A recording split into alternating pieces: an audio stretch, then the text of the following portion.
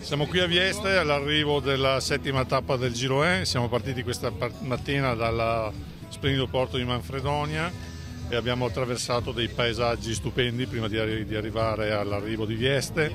una tappa impegnativa che però è stata affrontata molto bene da tutti i concorrenti, tra l'altro oggi c'erano molti ciclisti che sapevano andare in bicicletta per cui siamo arrivati anche leggermente in anticipo rispetto alla tabella di marcia, sicuramente un'ottima tappa anche caratterizzata da una splendida giornata di sole.